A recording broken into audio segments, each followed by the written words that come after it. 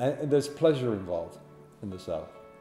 There's just total pleasure, and you can see why the food is the way it is.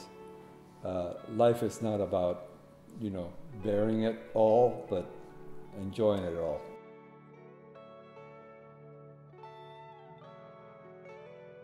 I had never really photographed in the South um, you know, before, and but I, I, did know that I was particularly interested in the vegetation and the landscape itself because I, I wanted to concentrate on uh, maybe something not overtly political or social, but the fauna and you know flora of, of the place.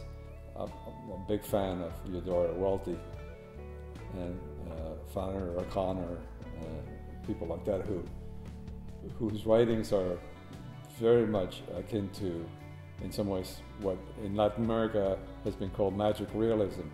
So I did have a feeling that uh, the South would, would provide me with a certain kind of just sexiness, you know, that here in Boston we don't get. Uh, so I look forward to that. Sort of going back to my roots. I grew up in Cuba where, the vegetation and the social scene was not unlike the South. For the Picturing the South uh, project, I had some, some things very much in mind and some things just happened uh, while I was there. But I, I made uh, a few photographs, camera obscura photographs in Atlanta itself.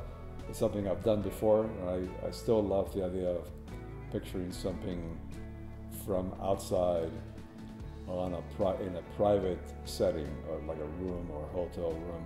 Um, that sense of dislocation is, uh, you know, part of what I was looking for.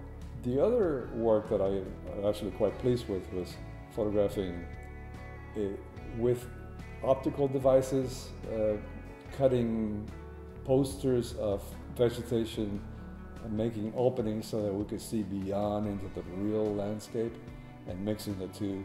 Kind of a, a magic realist approach to, to the southern landscape, you know, inventiveness and, and things that are not exactly normal. Um, it's something that really drove me to make pictures. At first, I thought it was going to be just, you know, nature uh, in, in Georgia. Um, but somehow um, it, it's hard to, to abandon other ideas, and uh, camera obscura work feels like it's, uh, it, it's part of how I think.